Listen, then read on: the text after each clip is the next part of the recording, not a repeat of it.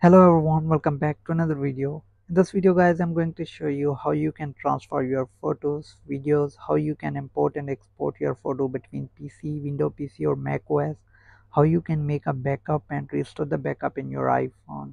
Also you can transfer music you can import and export music videos photos or anything. And there's the best tool that i'm going to show you. I'm also going to show you how you can use that tool to import export or photos or videos. So here is the tool Dare iphone manager. So this is the best ios backup transfer tool. So you can read through it. Link will be in description. You can click on the link and uh, check this page out and read through it. You can transfer and manage backup and restore. So there's a lot of option with this tool. So i personally recommend this tool because i use this tool. So here is the tool i have already installed in my pc now i'm going to show you how you can use it. So first of all connect your iphone with this tool. So now as you can see i have connected my iphone. Now if you want to uh, transfer the photos you can simply click on the photos. Now let me show you step by step. So first i'm going to import and export photos.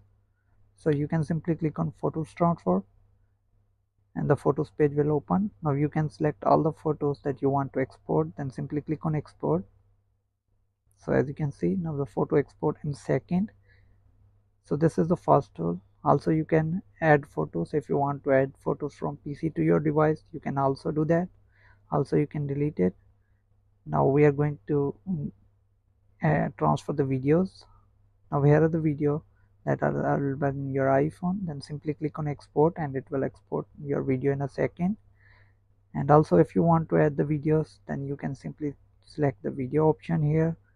As you can see on the left corner simply click on add video now if you want to transfer music or add music simply click on add music select your music then it will add a music in your device in a second. So here is the backup option. You can just make a backup of your device. So if you have already made a backup you can go to restore backup page and select your backup and restore the backup into your iphone also you can import and export your contacts. So if you want to add a contacts or make a backup of contact into pc you can do that too. So i'm using this tool. It's about a month now and it's best tool that i use personally. So i recommend this tool. Make sure that you check out this tool and download this tool. With this tool you can install apps also. So you can simply click on install and select the ipa file and install all the apps into your iphone so you will love this tool. Hope this video helps you to transfer photos and videos and get the best tool out there. Thanks for watching. See you in the next video. Peace out